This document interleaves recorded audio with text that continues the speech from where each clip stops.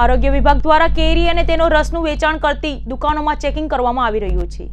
અધિકારીઓ દ્વારા સેમ્પલો લઈ લેબોરેટરીમાં મોકલાવવામાં આવ્યા હતા. ઉનાળાની શરૂઆત થતાં બજારમાં કેરી અને કેરીનું રસ વેચવામાં આવતું હોય છે. આ રસ ખરેખર આરોગ્યપ્રદ છે કે નહીં તે માટે મહાનગરપાલિકા આરોગ્ય વિભાગ દ્વારા સમયાંતરે ચેકિંગ કરવામાં આવતું હોય છે. હાલ આરોગ્ય વિભાગની ટીમ દ્વારા કેરીના વેપારીઓ અને કેરીનું રસ વેચતી દુકાનોમાં ચેકિંગ હાથ ધરવામાં આવ્યું હતું. મનપાની ટીમે જુદી જુદી દુકાનોમાંથી કેરીના રસના સેમ્પલ લઈ તેને લેબ ટેસ્ટમાં ચેકિંગ માટે મોકલી આપ્યા છે. જેનો રિપોર્ટ આવ્યા બાદ આગળની કામગીરી હાથ ધરવામાં આવશે.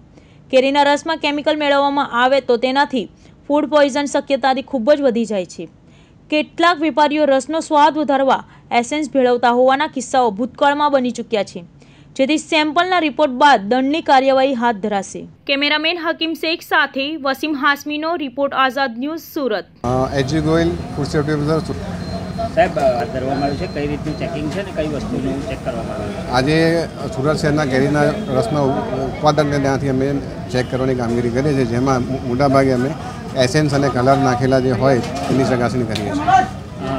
કેટલી જગ્યા પર અને કેટલી ટીમો દ્વારા ચેકિંગ આજે અમારી ચૌદ જેટલી ટીમો સુરત મહાનગરપાલિકાના ત્રણ ત્રણ કતારગામ રાંદેર અને અઠવા ઝોનમાંથી ઉત્પાદકોને ત્યાંથી તપાસ કરવાની અને સેમ્પલ લેવાની કામગીરી કરીએ છે કેટલા સેમ્પલ લેવામાં આવે છે કેટલા દિવસમાં રિપોર્ટ આવશે? આજે એના ચોવીસ જેટલા સેમ્પલ અમે લઈશું અને ચૌદ દિવસમાં એના રિપોર્ટ આવશે.